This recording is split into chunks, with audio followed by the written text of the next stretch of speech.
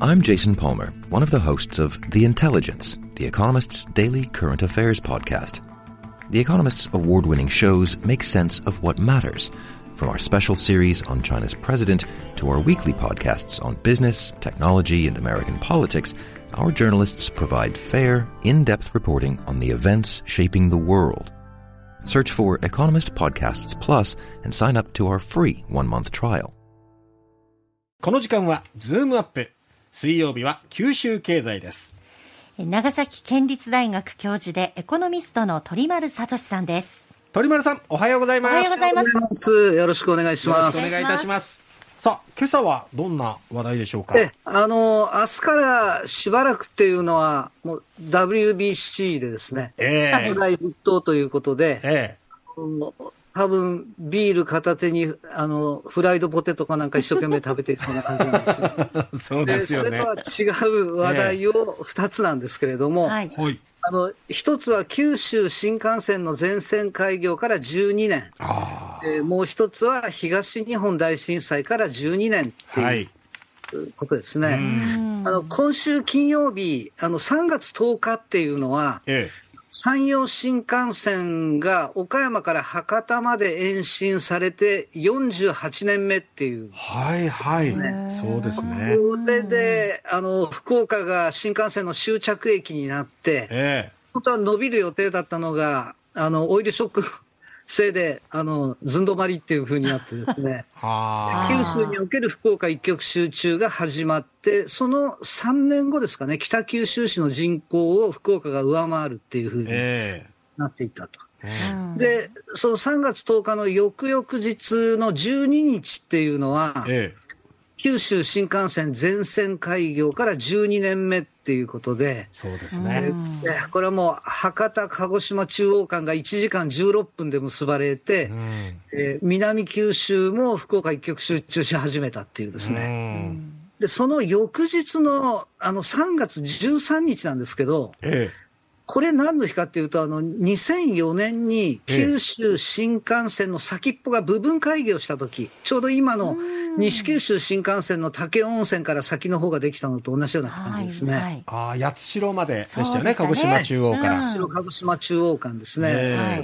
ができて19年目っていうことになって、うん。あの福岡市民にはもうあの九州新幹線開業から12年というのが一番ピンとくるんでしょうけれども、え南の鹿児島市民にとっては、あの、うん。駅名が西鹿児島駅から鹿児島中央駅に変わって、ええ。うんで、駅ビルにアミプラザがオープンして、はい。えーそれまであの、スタバがない、イオンがない、セブンイレブンがないって、あの、鹿児島市内だったんですけれども、それが劇的にあの変化し始めた、あ部分開業から19年、間もなく20歳なのねっていう方がピンとくるんじゃないかななっていうるほどね。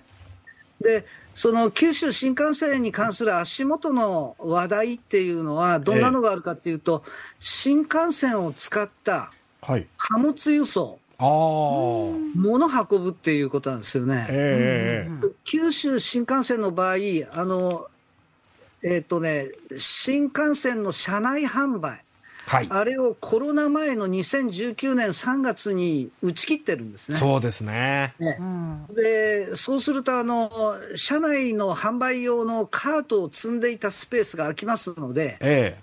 ーそこを利用して、えーなんか物運ぼうと。えうん。というのが21年コロナ禍であの新幹線の利用客が激減した時ですけれどうも、ん2021年5月から荷物運ぶようになったと。はい。うんただ、スペースが狭いので多くの荷物は運べないっていうので、うん。えー先月下旬からですね、はい。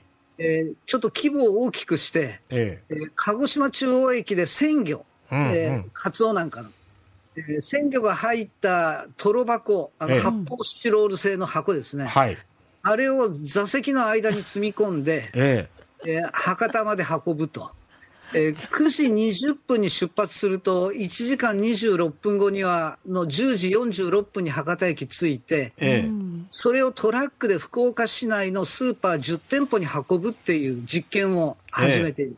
おーこれがうまくいくかどうかなんですけれども、うん輸送コストっていうのが通常のトラック輸送に比べて2倍かかるっていうんですよね。ああ、2倍も？うん、なんだけど、これなんでそこに挑戦するのか、JR、あの、東海とか、ええあの、東日本なんかもやってるんですけれども、え2024年問題対策ですね。え2024年。2024年問題、あの、働き方改革で、はい。あの、時間外労働なんかがかなり規制されてるんですけれども、ええトラックドライバーとお医者さんっていうのは、えええあの、延期されてるんですよ。あ猶予期間がえ持たれてでね。で、2024年4月から本格稼働っていうことになってきますので、そうなると、あの、トラックドライバーの年間時間外労働の上限が960時間に制限されるっていうことなので、はい。完全なこう人手不足状況になって、うまく物が運べなくなると。え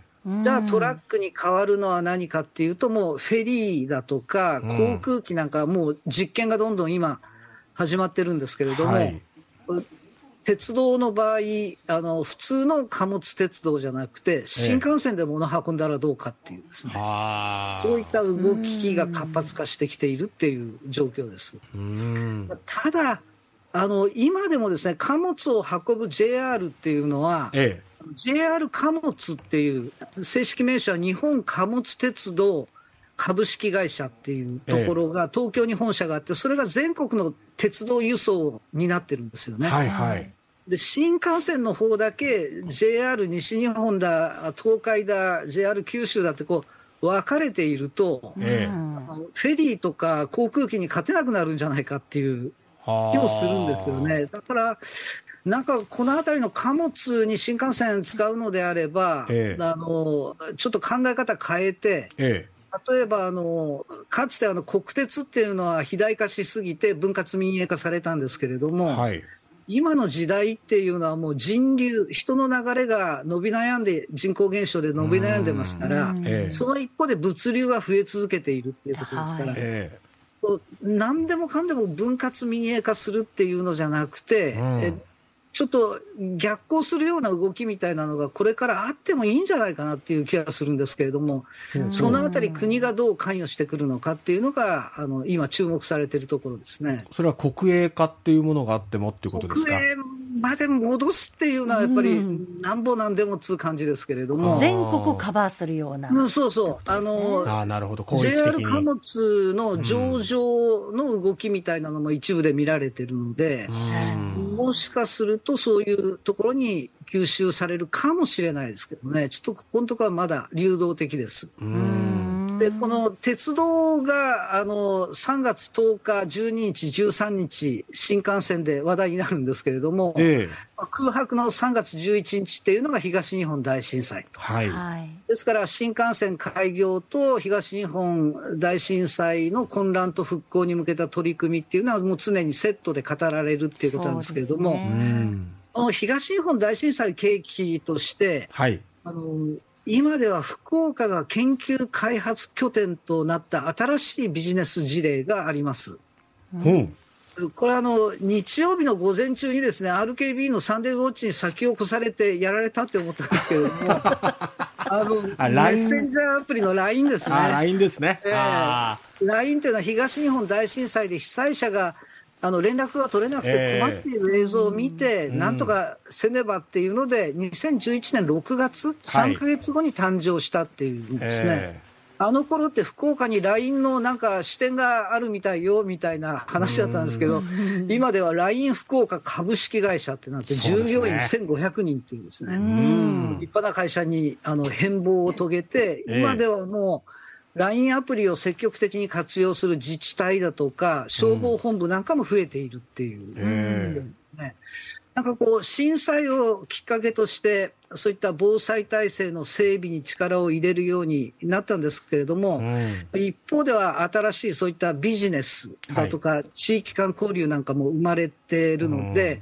あの若い人たち、まあ、成人していない方々、東日本大震災知らない世代っていうのも、これから増えてくると思うんですよね。そうですうんそうそういった世代に、あの時お父さん、お母さんはこうしていた時だったっていう、うんなんか皆さん、記憶にあると思いますので、そういったのを伝えていきたいって思いますね。うん。そうですうね。んわかりました。鳥丸さんありがとうございましたあり。ありがとうございました。長崎県立大学教授、鳥丸聡さんでした。拓司と歩く25分。この番組はリサーチなし打ち合わせなし台本なしインタビューなしグルメリポートなし編集なし反省会なし予算なし8つのなしでお送りしています。私と勝木かなディレクターの世間話を聞きながら一緒に散歩している気分になりませんか？福岡の地名が出てきますよ。